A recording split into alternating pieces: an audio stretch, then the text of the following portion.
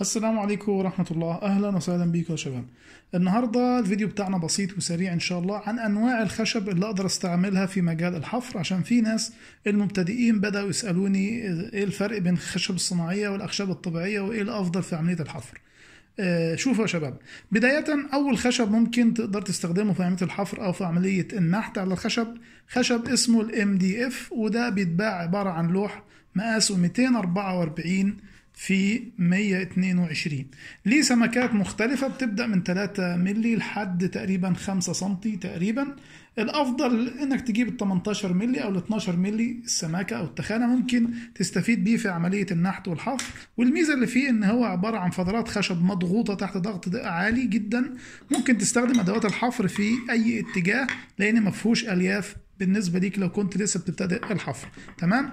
الخشب ده خشب ال MDF فيه منه النوع الأخضر ده مقاوم للمية. لو قدرت توصل له يبقى ممتاز جدا لأنه ما فيهوش سيليكات وبيكون كويس في عملية النحت. تمام؟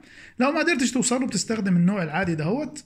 النوع ده ناجح جدا يا شباب وبيستخدم في معظم دلوقتي في معظم أعمال الموبيليا وفي معظم أعمال الحفر والأويمة. زي ما إحنا شايفين كده القطعة دي منفذة بخشب ال MDF تمام؟ ممكن أستخدمها كتاج آه، للستاير أو كقطع كتاج مثلا آه، لدولاب أو حاجة زي كده. يعني أوظفها زي ما أنا عايز. آه، لو كان عندك لو أنت بتشتغل زخارف كبيرة أويمة زي ديت مقاساتها مثلا متر في 50 بيكون الأنجح إنك تستخدم خشب ال MDF لو استخدمت الأخشاب الطبيعية بيكون في دايما لحامات اللحامات بمرور الوقت مثلا لو عندنا لحام هنا وبدأت تفرغ اللحامات دي بمرور الوقت بتبدأ تتفتت منك وما بتعيش وما بتعمرش فترة طويلة إلا إذا كنت بتستخدم خشب قوي زي خشب الزان مثلا وعلى الموبيليا. تمام؟ لكن لو بتشتغل شغل زي ده على مساحات كبيرة على حيطة على دولاب فالأنجح والأفضل إنك تستخدم خشب ال MDF عيب خشب ال MDF إن هو بيمتص الرطوبة أو لو في مية بتؤدي إلى فساده لكنه مقاوم للتسوس ما بيسوسش زي الأخشاب الطبيعية.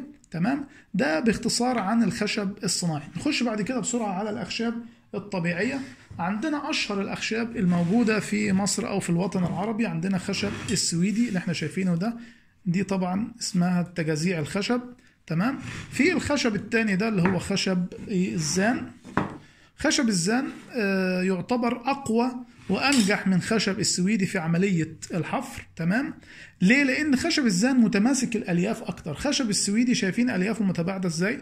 ثانيا خشب السويدي بيستخدم في عملية الحفر ولكن لو في أعمال حفر دقيقة جدا يفضل استخدام خشب الزان. بمعنى إيه؟ بمعنى أنا لو عندي مثلا قطعة فنية زي دي كده تمام؟ دي ما ينفعش انفذها بخشب السويدي مش هتكون ناجحة قوي لأن الأجزاء الرفيعة دي ممكن تتكسر منك لأن الألياف مش متماسكة قوي زي خشب الزان.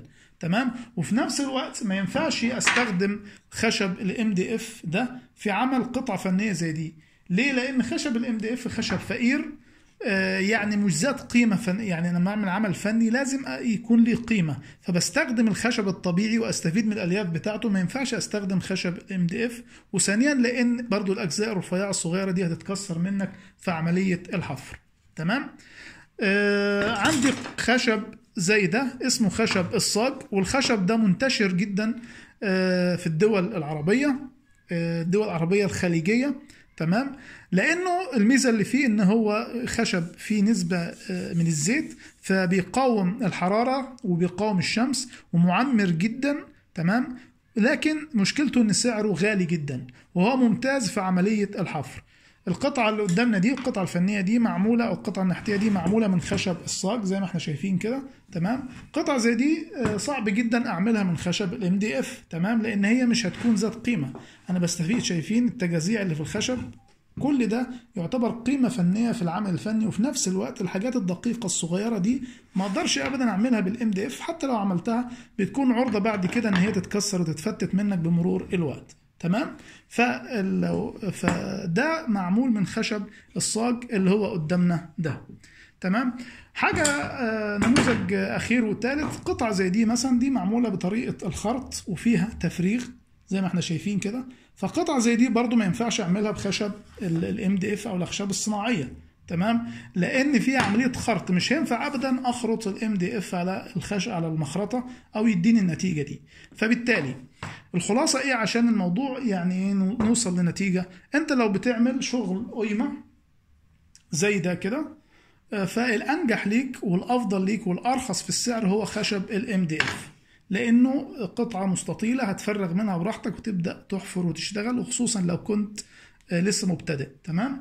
لو بتعمل شغل تحف أو قطع فنية فزي دي كده مثلا فيفضل أنت تستخدم الأخشاب الطبيعية زي الزان أو زي أخشاب السنديان أو زي خشب الصاج أو أي خشب الألياف بتاعته متماسكة وقويه زي خشب الأرو مثلا.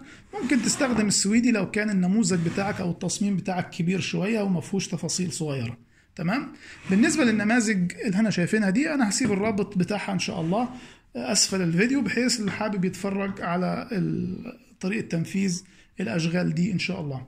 يبقى كده إحنا عرفنا عرفنا الفرق بين الأخشاب الصناعية والأخشاب الطبيعية في عملية الحفر وانهون اللي أقدر أستخدمه وإيه المجال بتاعه. أتمنى الفيديو يكون مفيد يا ريت لو كان فيه استفادة طبعا ما تنساش تدعي لي بالتوفيق وقول جزا الله خير وشكرا ليكم جميعا يا شباب ومع السلامة.